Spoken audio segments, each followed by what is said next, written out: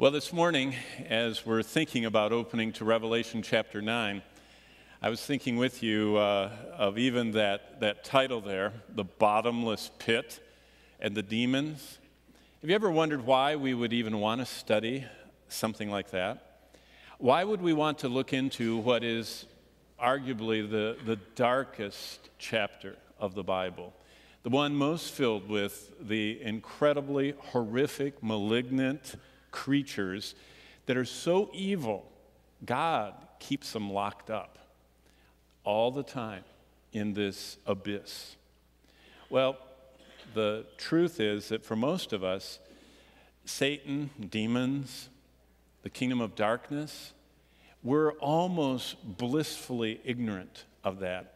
We don't think much about it. We're not prepared for or, or even recognize the presence of Satan and his demons as he seeks to neutralize, marginalize, and, and basically keep us powerless and unable to do the will of the Lord. Well, this morning, I'd like to talk with you about how to beware of Satan's plans for believers. This is uh, an introduction. We won't actually get to the ninth chapter of Revelation till the very end, and we're going to launch into every word of it in the days ahead. But on this Sunday morning, and at a historic evangelical, Bible believing, Bible teaching church, most of us know far too little about the tactics, the strategies, and the methods of Satan. And for that reason, we need to heed the Lord's warnings to beware of Satan's plan for believers. The bottom line is if we're going to be on guard against our adversary, we have to know what he does. We have to recognize his presence. We have to repent and forsake any time that he has gotten a foothold into our lives. I was thinking back and talking with someone uh, this morning as they saw the topic, and I thought over 35 years of pastoring in Christ Church, there have been time after time after time where I've seen one of the most obvious manifestations of the devil. I've seen the gathering of the Lord's people as they come to pray and prepare for serving in the church, and, and there are those things called business meetings. Those usually bring out the worst in a lot of people. And, and I, I, have, I remember once when Bonnie and I were pastoring in New England, I said to her, I said, I have never heard Christians yell in church at each other until I came to a business meeting. Did you know there are believers who are taken captive by the Lord to do His will in their seeking to promote strife in Christ Church? That's just one way that Satan works. And if we're going to recognize his presence, if we're going to face his onslaughts, if we're going to overcome his attacks against us, we need to do and follow and understand the ways that God's word instructs us to beware of him. In Revelation 9, in this short little view through it, the next few weeks that we're going to take, we will be taught the immense amount of the unseen and horrifically powerful kingdom of darkness that all around us shapes everything. Do you remember? Nothing is neutral. There is no middle ground. Either it's of God or it's not. And if it's not, it's not neutral. 1 John 5 says, All of the world is in the lap of the evil one. And Satan uses every means, every method, every medium for his message. But he cloaks himself as the angel of light.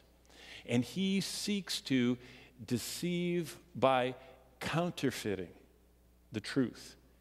And, and just like when we trick mice and rats by giving them what looks like good wheat or good grain, it just has 0.5% poison. 99.5% pure, 0.5 is deadly. Point anything is deadly. Well, in 1 Peter 5 this morning, and I, I want you to turn there with me. This is where we're going to begin to look at Revelation chapter 9. In 1 Peter 5, verses 8 and 9, we are confronted by the Apostle Peter with a charge to the church. He said, I want you to enter into the cosmic conflict. I want you to understand and what you're going to face every day, increasingly, the darker our world gets. And we are not supposed to be passive, we are supposed to be actively, vigilantly, guardedly resisting the evil one. So, 1 Peter 5, verses 8 and 9. Let's stand together if you got it. Follow along. I put on the screen if you don't have a Bible or if you just want to look up. And this is what we're going to read together, okay? So if you don't have a New King James, you need to look at the screen. And let's read in unison, okay? Be sober, be vigilant, because your adversary, the devil, walks about like a roaring lion, seeking whom he may devour. Resist him, steadfast in the faith, knowing that the same sufferings are experienced by your brotherhood in the world. Let's bow. Father, I pray that we'd realize that Satan is real. He's powerful, he's malignant, he is devious and cunning, supernaturally, powerfully wise in his strategies to beguile, to neutralize, to dull, to make our lives cold and distant from you. You've told us, you've warned us, he can devour us. Those words were written by a man who experienced being devoured, Peter, in his denials. And Lord, I pray that we would learn to resist the evil one and all of the kingdom of darkness actively, uh, f- in a focused biblical way so that he will not have an, an, a foothold, an opening, a snare that he can trick us into in our lives. We ask that now for your glory and by the power of your Spirit as you open our hearts to your truth. In the name of Jesus, we ask that. Amen. You may be seated. As you're seated, what are Satan's plans? If, if we wanted to just kind of understand what his plans are, how Peter himself, who wrote those words, succumbed to Satan's plans. In fact, the, the words in 1 Peter 5 that you have before you, where it says uh, that, that we are supposed to be on guard or vigilant, that's the exact same word Jesus said three times to Peter in the Garden of Gethsemane. He said, Peter, watch and pray lest you enter into temptation. Peter, watch, be vigilant. Gregoreo is the word, and, and pray so you don't fall into temptation. Peter, watch, be vigilant. But Peter went to sleep. He underestimated his own strength and the devil's strength. And so, just as Jesus warned Peter three times to be vigilant, Peter failed three times and denied Christ three times. See, when we're not aware of Satan's tactics, his strategies, his methods, and when we are not conscious when he has come into the situation. For example, James put it this way He said, When we're operating with God, the wisdom is from above. The wisdom that God pours out on us is pure and peaceable and gentle and easily entreated and full of mercy without hypocrisy. That's what God brings. But he continues to say, what is from beneath, what is earthly and sensual and demonic, is envy and strife and selfish ambition and confusion. Whenever things in the church get striving, confusing, ambition is present, that's when the wisdom is not being heeded from above. It's, it's where Satan has snared believers. So what is Satan's strategy? What is his playbook? How do we get devoured by him? Well, if we're aware this morning that Satan wants to poison our thoughts and emotions, then we'll see that anytime we get away from the purity of God's truth, Satan's at work. And what does he work on? He works on our minds. The battleground is the mind.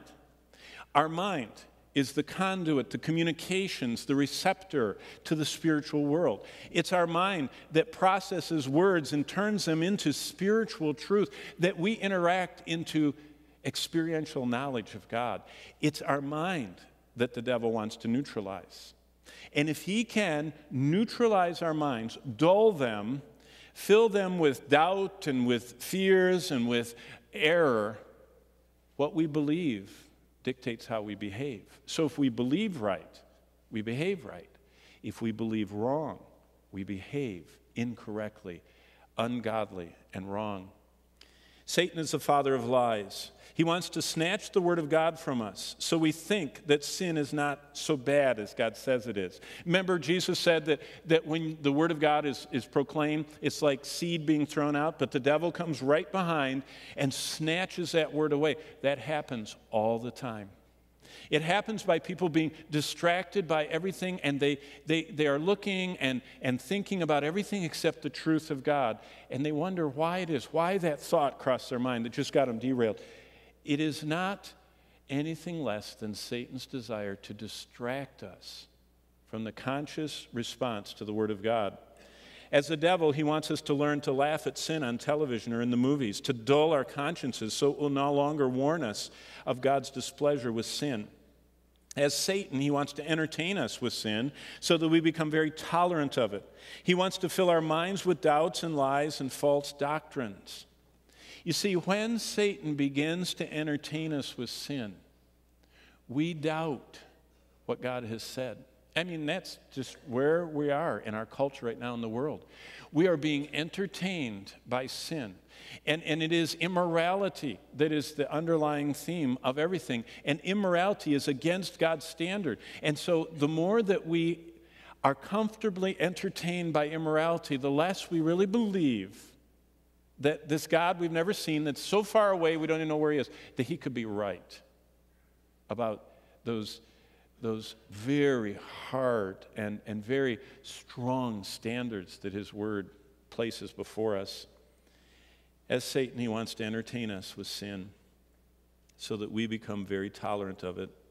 He wants to cloud our minds with those doubts about God's goodness, lies about his faithfulness, false doctrines that debilitates our wills, that confuses our emotions, that corrupts our desires, and then draws the affection we're supposed to have for Christ away from Him. And that's, that's His desire, and that's His active pursuit today. Well, if we understand Satan's strategy, we'll recognize it. If you want to turn your Bibles to 2 Timothy 2, this is a fascinating passage where Paul talks about how Satan gets involved in the lives of believers and how we're supposed to respond to that. And basically, just as we saw Peter teach us that we're to be on constant guard for Satan's attack, Paul warned us in 2 Timothy 2 that Satan can snare believers. He can, he can turn them away and, and attract them away from what God's purposes are as they gather into anything but God's purposes. And, and look what verse 23 says in 2 Timothy 2 But avoid foolish and ignorant disputes, knowing that they generate strife. One of the underlying evidences of Satan's presence is when Satan comes into a situation, strife begins. Satan is one who causes strife. He sows discord among believers. And there's, there's foolish and ignorant disputes and, and that generates strife. In verse 24, the servant of the Lord must not quarrel. Uh, we are not to be known, if we are true servants of the Lord, as quarrelsome, but rather as gentle to all, able to teach, patient, in humility, correcting those who are in opposition, if God perhaps will grant them repentance so that they may know the truth. Now look at verse 26. This is what happens. This is what goes on. This is what neutralizes. In fact, Someone asked me, where, where were you last Sunday? I said, Oh, well, last Thursday, Friday, and Saturday, Bonnie and I were doing a retreat. I mean, Bonnie was invited to do uh, a women's retreat for a few hundred ladies on Titus 2, and I was invited to do a men's retreat on Titus 2, the men's part, and she did the women's part. Then we were both invited to go to a, a church and do a, a similar Sunday morning. Uh, uh, she with the ladies and me with the whole congregation.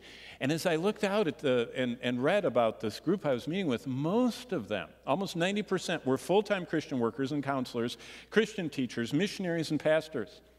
And, and they were, were on the front line of experiencing what it says right here, if you look at this. They experience in their lives what verse 26 says that they, they confront people that need to come to their senses and escape. And look what happens to people. Believers are snared of the devil, having been taken captive by him to do his will. Have you ever been with a believer and all of a sudden you hear them sharing things they shouldn't share, dis, discrediting, slandering, spreading gossip, and, and you look at them and you go, whoa, that just doesn't seem right. What have they done? Look at verse 26. They have been taken captive to do Satan's will. In fact, the word slander in English is actually a translation of the Greek word, which is the name of Satan, the devil. Slander is the devil. Only the devil is his proper name, but the meaning of the name is slander. Satan is primarily one who slanders, accuses, and when believers are slanderers and accusers, verse 26 says, they have been ensnared by the devil and they're taken captive. Well, how did they get snared?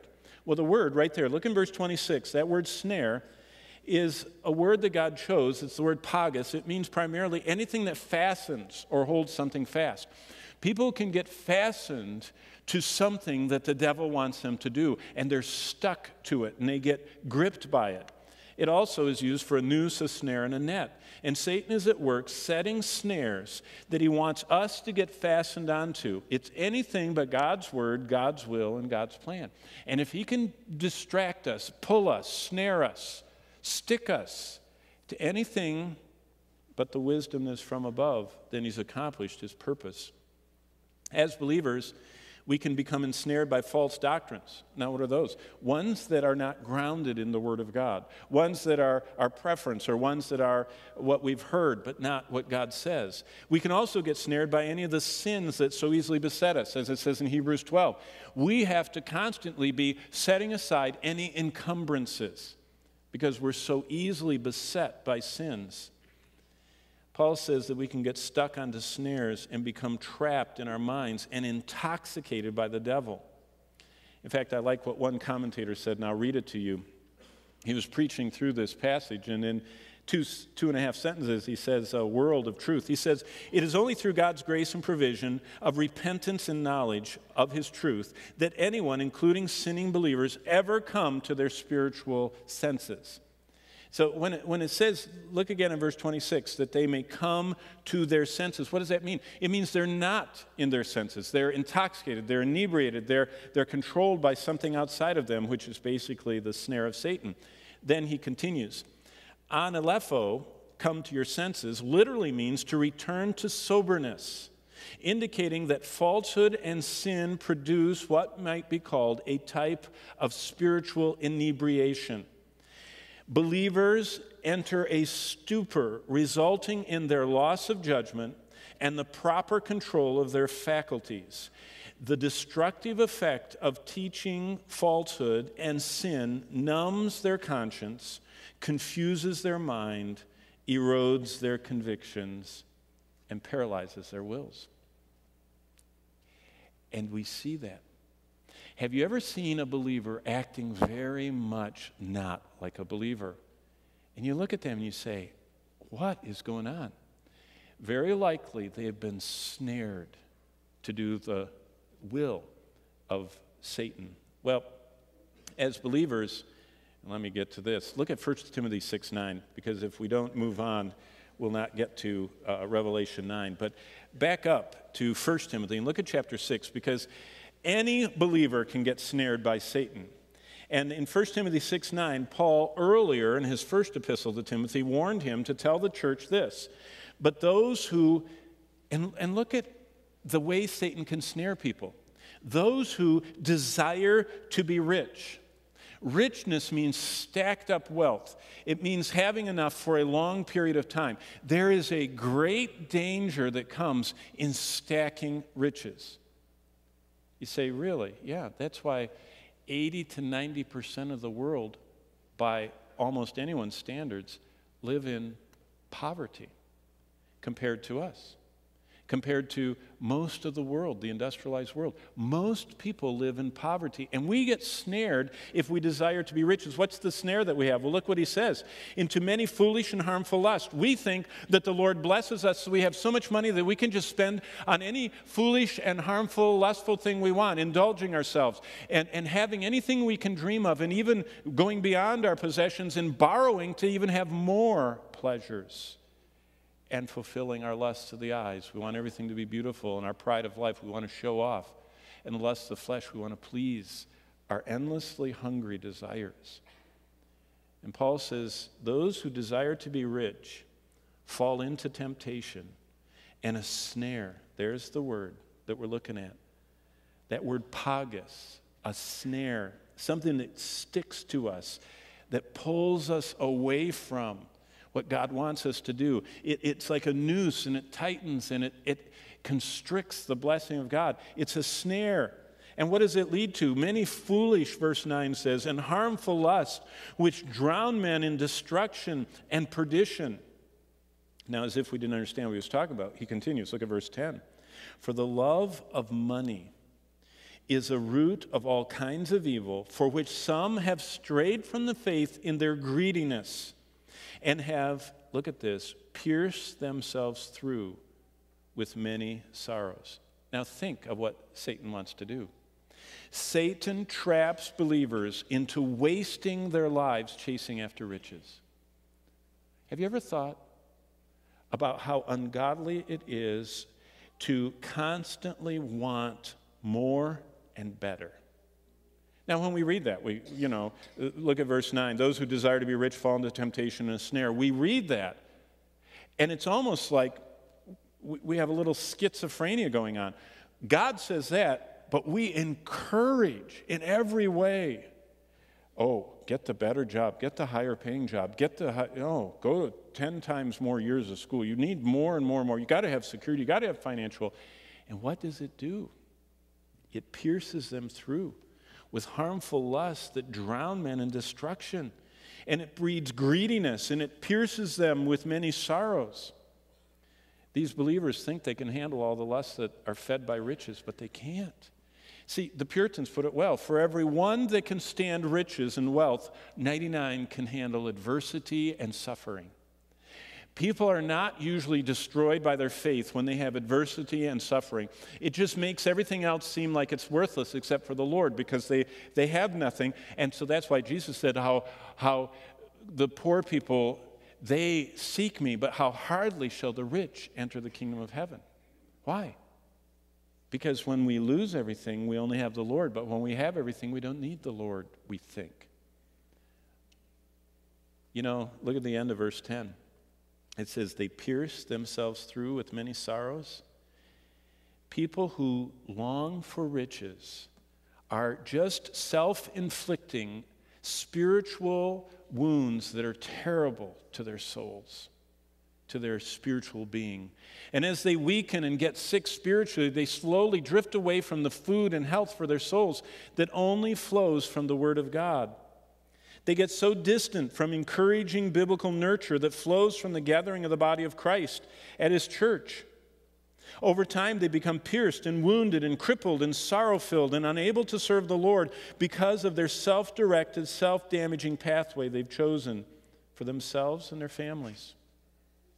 You know what's so interesting? People that don't have toys don't spend the weekends playing with them. People that don't have endless money to chase after exotic everything usually are the ones that have time for the Lord. And so he goes on. In fact, if you want to back up to chapter 3, it gets worse. He says Satan is so strong that even godly mature believers can get snared if they're not vigilant. In 1 Timothy 3 7, there's a warning right in the middle of the qualifications for elders in Christ's church. And it says, Watch out. After he's already said, Watch out that their family's in order and their finances and that they're not greedy of, of uh, gain that they shouldn't be greedy for, he says, Watch out in verse 7. Moreover, this elder must have a good testimony among those that are outside. It isn't just that he's great inside the building, there has to be resonance out there in the world as a representative of Christ. Why? Lest he fall into reproach in the snare of the devil. Even spiritual office, even spiritual position, and, and evident spiritual maturity doesn't protect from the snare of the devil unless there's constant vigilance. And that's what Paul warns about. Well, remember this only God's word prepares us for Satan's attack. You don't even have to turn there because you know this verse by heart. Man shall not live by what? Bread alone, but by what? Every word that proceeds from the mouth of God. When did Jesus say that? The context is everything. Jesus is facing the devil 40 days and 40 nights in the wilderness. He hasn't eaten, he's weakened, he is under constant assault. And yet he says, My way of defeating the devil is not using the power of the Godhead, but to use the same sword of the Spirit that every believer has. You see, the only God's word prepares us for Satan's attack. And when Jesus met and defeated Satan, he did it only by quoting verses that we all should know. Well, if you turn to 1 Timothy chapter 4 real quickly, uh, this, this uh, it's just across the page in my Bible. Look at what it says in the first two verses of 1 Timothy 4. It, it's the rising tide of evil in the empire of darkness. Now, the Spirit expressly says that in the latter times, the closer we get to Christ's return, the closer we get to his prophetic promises, some will depart from the faith, giving heed to deceiving spirits, doctrines of demons, speaking lies in hypocrisy, having their own conscience seared with hot irons and then turn to 2 Timothy chapter 3, the next book over. Look at the first five verses. Paul continues to identify these end times. And, and he said, This is Satan's plans for the last days to neutralize the church in the most vital time to be a light for the Lord. He says, But know this 2 Timothy 3:1, that in the last days perilous times will come. That word perilous is stressful. We live in the most stressful time. People live under constant stress of everything, whether it's financial or work stress or, or terrorist stress or, or health stress. We just know too much. It's perilous times. But look what characterizes the world at the end. Verse 2 Men will be lovers of themselves, lovers of money. They're willing to abandon family, home, marriage, church, anything for money. Boasters kind of characterizes our social media. It's the in your face, let me broadcast everything world. Proud, blasphemers, disobedient to parents, unthankful, unholy, unloving, unforgiving. Devilish tongues, that's what slanders mean. Those who surrender their tongues to slander and malign, like the devil, the accuser, without self control, brutal, despising good. Doesn't that characterize where our culture is? Despising good, making fun of good. Lovers, uh, excuse me, um, headstrong, haughty, unloving, unforgiving, slanders, without self control, brutal, despisers of good. There we go, verse 4. Traitors, headstrong, haughty, lovers of pleasure rather than lovers of God. Now look at verse 5. The result? Having a form of godliness. They go through the motions, they go to church, they look godly, but denying its power from such people turn away. Wow. Paul continues. Look at the, the very next chapter, chapter 4. He says that wordless living leads to world like living. I charge you, verse 1, chapter 4, before God and the Lord Jesus Christ, who will judge the living and the dead at his appearing in kingdom, preach the word. Be ready in season, out of season, convince, rebuke, exhort with all long suffering and teaching. Verse 3 For the time will come when they will not endure sound doctrine. Yeah, I just came from a weekend with all these people in the ministry. In fact, it's not uncommon to hear this. They say people just don't want to be taught from the Word of God. They want to be entertained. They want a short sermonette for a Christianette who is on their way to something else, and there is no attention to the Word of God. Did you know most churches when men are coming in, I've talked to them from, from the seminaries and the places where the Bible institutes where I teach, they say when these trained students of the Word of God go out, they're told, now, 20 minutes, 15, 20, 25, that's most that people can endure. That's all that they'll tolerate. Look, look at where that comes from. Verse 3 For the time will come when they will not endure healthy doctrine, sound doctrine. We're there. And what's happening is the church is just eroding and, and accommodating to it.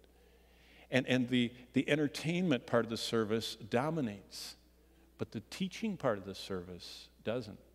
You know, one of the saddest things I've ever heard, someone told me this week, they said, Did you know there, there are a whole group of people at Calvary that have said, We'll not sit through another Revelation sermon. So as soon as the music's over, they leave. Why? Because they will not endure sound teaching. They said, I'm not going to hear it anymore. That's amazing. What does it say? But according to their own desires, because they have itching ears, they heap up for themselves teachers and they turn their ears away from the truth and turn aside to fables. So that's why Revelation 9 is so important. Because, and just turn there with me, at least we have to get there because it's time for communion. But when you turn to chapter 9, you're turning to a chapter of the Bible that unmasks what Satan's doing, his plans, and the power that he wields as the God of this world. And in obedience to God's desire that we read and hear and keep these doctrines in Revelation, it has to be that we study it. In fact, Revelation 1 3, the book opens saying that God specifically gave the truth of Revelation to Jesus Christ, for Jesus Christ to give to his church, and for his church to read and listen and heed. So, what does chapter 9 say? It says the whole world is offered a choice. Christ offers endless life, and the devil and his demons and the destroyer that is right now enslaved in the abyss, held in confinement, offers endless death. And the bottomless pit gives us lessons from God about the activity, the way that Satan neutralizes, deadens, divides, and basically renders believers powerless in this world. Well, how can we apply that today? I mean, that's, you don't want to end, you know, if you have a painting, you have to get a white path out of it. People don't like staying in a bleak picture. What's, what is a lesson for our everyday lives that we could draw from, from such a, a glimpse into the darkest chapter of the Bible? Well, when Martin Luther was studying this, he actually wrote a poem that he taught to the Reformed. Uh, the Reformation converts that were coming to Christ out of their darkness and lostness. And he wrote this, and it became the theme of the church and it's called A Mighty Fortress is Our God. And so, what I'd like you to do is, uh, why don't you stand with me to prepare for communion, which we're going to have in just a moment. Let's read this first stanza, and then I want you to notice the next stanza, because it's all about what we're talking about, and then we'll, just before communion, sing that third stanza. But let's just read this A mighty fortress is our God, a bulwark never failing. Our helper, he, amid the flood of mortal ills prevailing. For still our ancient foe doth seek to work us woe.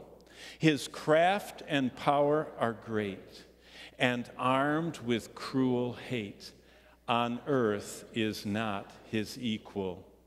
And though this world with devils filled should threaten to undo us, we will not fear, for God hath willed his truth to triumph through us. The prince of darkness grim, we tremble not for him. His rage we can endure, for lo, his doom is sure. One little word shall fell him. Now, you got to watch out. This song is like the entrance ramp to the highway. It starts real fast. So here we go. You ready? Everyone, clear your throat. Here we go. That word above all earthly powers, no thanks to them abideth.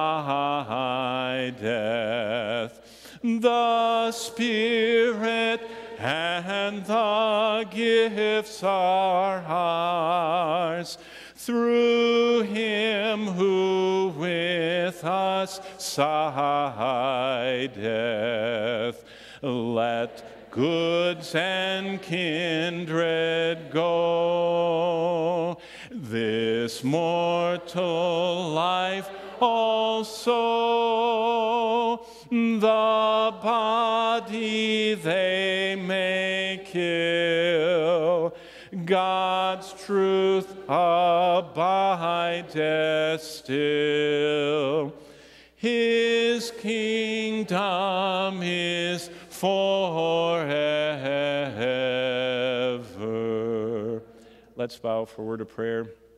Father, we thank you for the privilege we have to commune with you at your table.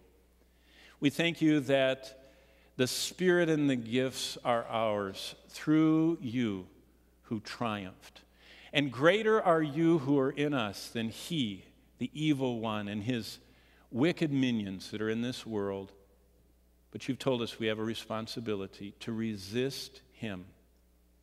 I pray that at this communion, it would be a communion where we say, I refuse to be entertained by sin. I will not laugh at sin.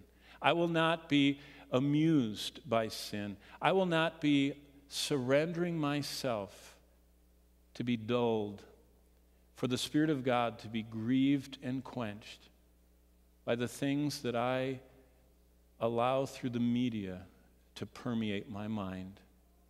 I pray that this would be a communion of our fellowship with you, the Holy Son of God, who loved us and gave yourself for us.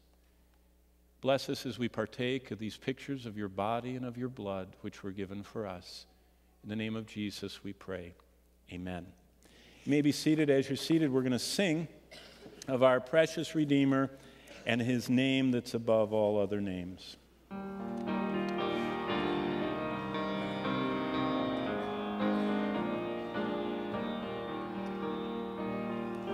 At the name of Jesus, every knee shall bow, every tongue confess him, King of glory now. Tis the Father's pleasure we should call him Lord from the beginning was the mighty Word, humbled for a season to receive a name from the lips of sinners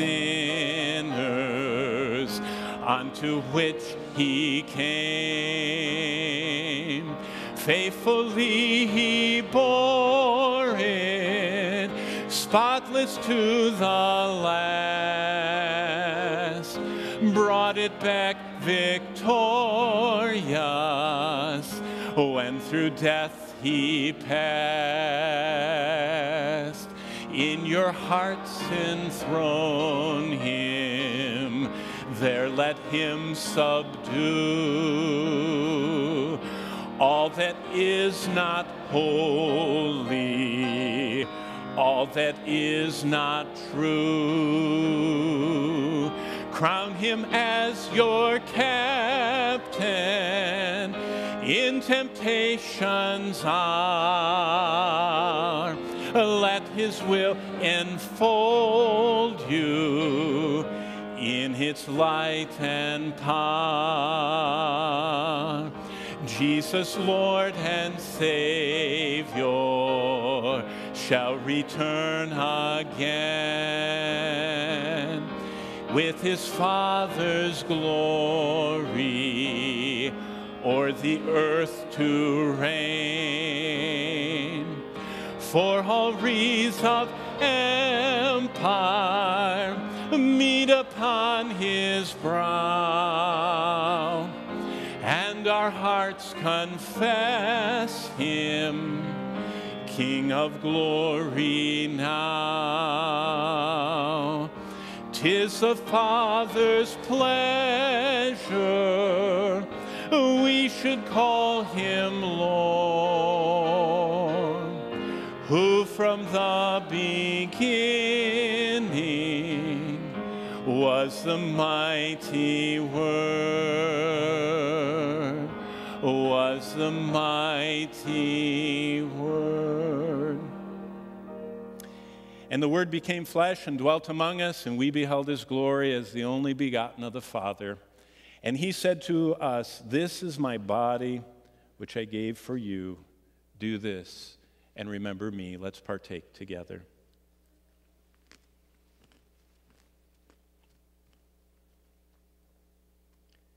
And dear Father, we thank you that Jesus not only came to live the perfect life that none of us could ever live, but he also died the perfect death, pouring out his blood to make the atoning sacrifice to forever remove the punishment for our sins upon himself, the record of our sins upon himself, and to thus make us the righteousness of God in him. Thank you for the blessing of what you did at the cross. As we hold these cups in our hands and sing to you, may the wonder of how much you've forgiven us overwhelm us with grateful joy. In the name of Jesus, we ask for that. Amen.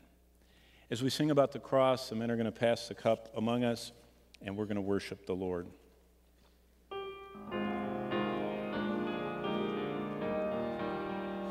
Alas, and did my Savior bleed, and did my sovereign die? Would he devote that sacred head for sinners such as I? At the cross, at the cross, where I first saw the light, and the burden of my heart rolled away. It was there by faith I received my sight, and now I am happy all the day. Let's just read the second stanza. I always think about um, not only my first communion as a married man, but many afterward. I grew up in the church. I know all the hymns. I don't even need the hymn book. I mean, I've been singing them for 57 years. And I was married to this recently converted at 21 uh, dear wife of mine, and we were standing for the first time at communion at Grace Community Church, and I was just roaring out the stanzas, and I couldn't hear her singing. I turned and looked, and there were these huge tears running down her face, and immediately I thought, oh no, brand new husband, what'd I do wrong now? And I said, honey, I'm so sorry, what's wrong? She says, I just can't believe how much the Lord forgave me. You know, to whom much has been forgiven, the same what? Loves much. Let's think about that as we read this and then we sing after that to the one that loved us. Was it for crimes that I have done? He groaned upon the tree. Amazing pity grace unknown, and love beyond degree. And as we sing that chorus, feel and, and remember the burden of my sins rolling away. Here we go. At the cross, at the cross, where I first saw the light, and the burden of my heart, it rolled away. It was there by faith I received my sight, and now I am happy all the day. And the scriptures say all that was accomplished through the shedding of the blood of Jesus Christ, in whom we have redemption, even the forgiveness of our sins. And Jesus said, Do this cup drinking, remembering the new covenant that's in my blood. Drink from it, all of you. Let's partake together.